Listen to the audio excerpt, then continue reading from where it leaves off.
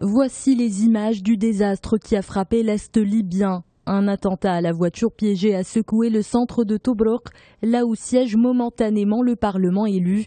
Plusieurs témoins parlent d'une explosion très puissante. L'attaque suicide a fait des dégâts incommensurables dans la ville. Une personne a été tuée en plus du kamikaze. 20 autres ont été blessés selon le ministère de la Santé.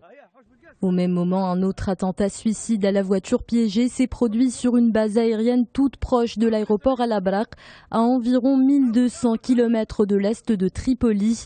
L'attaque a fait cinq morts parmi les soldats libyens.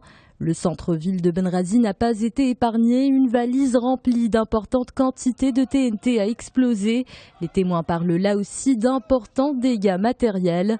Aujourd'hui, le chaos règne en Libye, pays où les milices font la loi et où les institutions politiques restent contestées.